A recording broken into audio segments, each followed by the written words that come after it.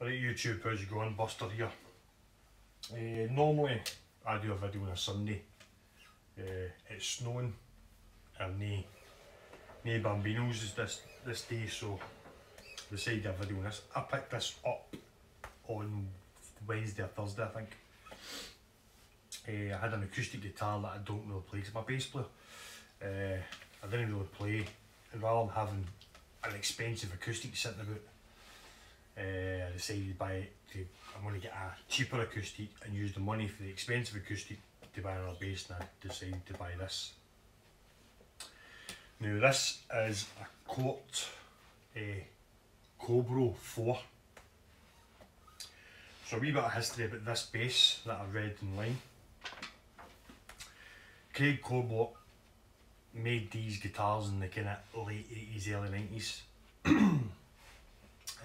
Cort decided, or he, he approached Cort or something like that, and he ended up being a production model, and these are the production models. Uh, so the seal number of this, it's an 07. But for what I read, the earlier ones, uh, this one's made in Indonesia, the early ones were made in Korea. The seal numbers don't don't make a, a iota of what you, you can't tell what year it is with the, the numbers don't make any sense on the earlier ones, the green ones. Only way to tell to confirm the age of the, one of these guitars is if you take the neck off or take the pickup out and at the bottom of the neck, because the neck runs all the way up to the edge of this pickup, it's printed in the bottom of the neck. and so this is November 07. So and the earlier ones, the earlier Cort ones, are there's slight differences in the, uh, the cavity and the battery box. There's slight differences. Rather than having a door on the back, it's actually got a screw-on plate. Uh, so this made the same factory as Ibanez, but a totally different beast. the only guitar that Ibanez make that is, similar to this is the Ibanez Ergodyne. That's the only one, from what I know. They do different models of the Ergodyne. Obviously, do a cheaper version and they do a high high end one. But the Ergodyne range is the only one that's exactly the same as this. For the reason of the fact of what the body's made out of and the fretboard. The fretboard's not a wooden fretboard, it's a composite fretboard and the body's a composite body. The notes here, I'll probably butcher the names, but the body's Luthite and the neck is, where is it? I should have underlined this. I can't remember what the neck's made out of, the neck.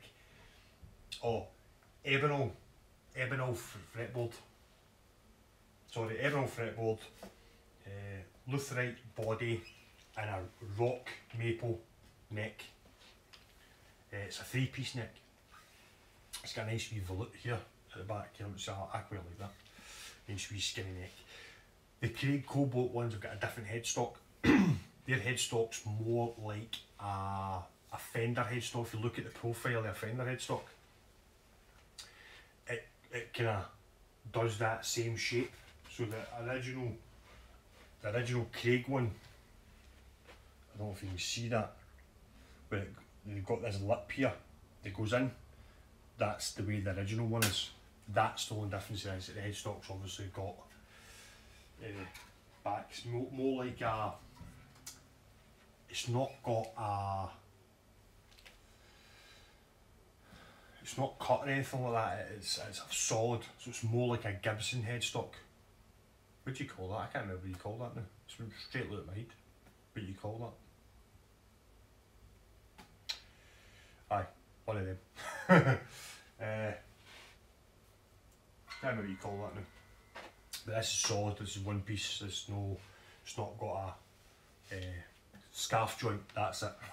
I knew it'd come to me. I'm not doing this video again, I've already done it once and I had to delete it because I made some fuck ups. Uh, it's not got a scarf joint, so it's one solid piece of wood. Well, well, no solid, sorry, three piece wood cut and carved. So it's not, the headstock's not separate. Uh, what else? Yeah, so there's similarities to the Ibanez, the other Ibanez active bases. The Ergodyne's the same as this, but is it? I'm trying, I'm trying to remember because I read it a minute ago. No, their active systems, Ibanez active systems different for this. In a certain sense, if you, I'll, I'll show you in a minute. So, it's got a, a Baloney, a Baloney, a Bartolini Mark 1 pickup. The three band EQ. so, when you've got it on the up position as a selector switch, you up position, that's the pickup going through the three band EQ. It's got a midpoint, a wee kind of notch, so that's the bass, that's the mid, a wee click, and that's treble, master volume. So, I put it on to go through my BH250. I've got a switch on mine that goes from active, passive to active. So up on that is uh, passive. Uh, and I'll let you hear what it's like on passive mode. So that's up.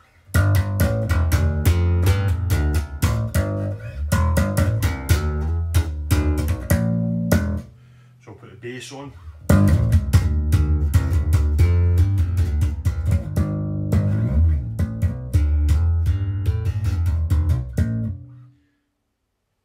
Bass off. So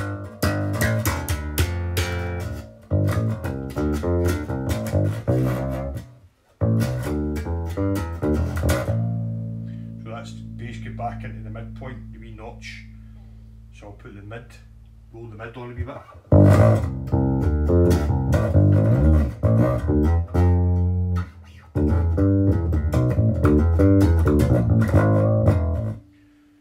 Mid back into the midpoint, the.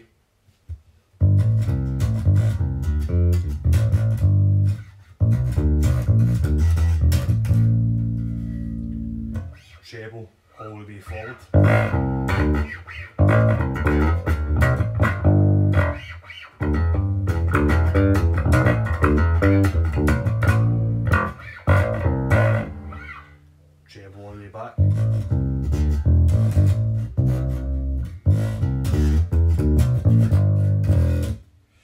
So, that part. So this whole bit here, find that in any Ibanez, or the a new active bases anyway, or be active EQ. Uh, you'll find that, find that on it. What they don't have is, is what this has got. So far, flip this part, this is now on active mode on my, my bass, running through the same EQ system. So that's it. So all these notches, all these are in the middle notch, volume's all the way up through the EQ. Right, that's it. Flick it back into passive mode.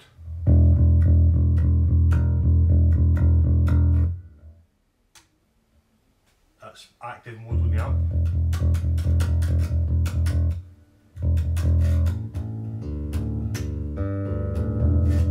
Right, so big difference. Until, so this is it back on active mode and I flick this switch down.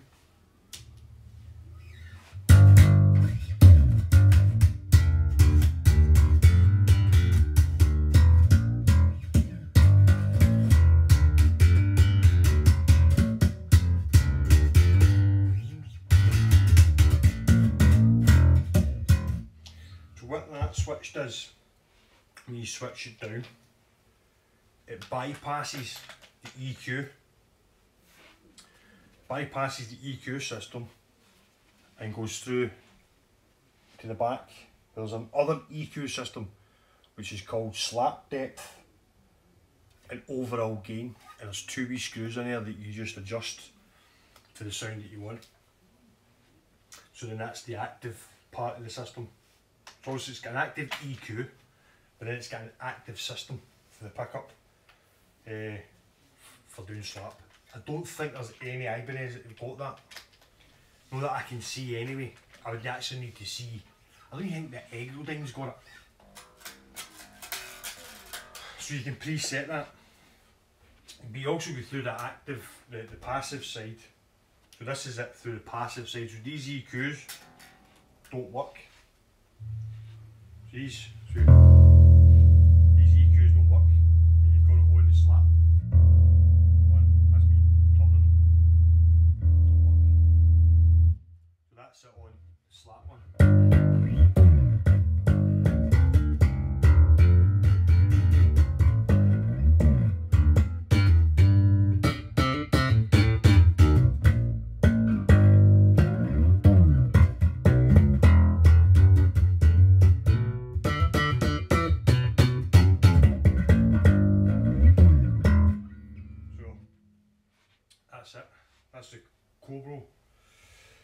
It's another option for these if he's wanted to kind of go doing that. Mad Malco, obviously he's known as I mentioned quite a bit on my, my channel. Me and him are quite kind of pally. And get new guitars and stuff, we always message each other and send pictures and stuff. And I hadn't seen his video.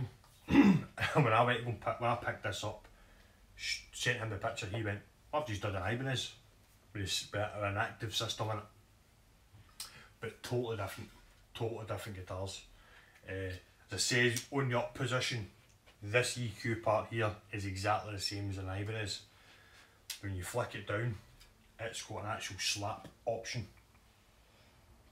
So, Craig Curbow is a slap bass player and he designed his own bass for doing slap.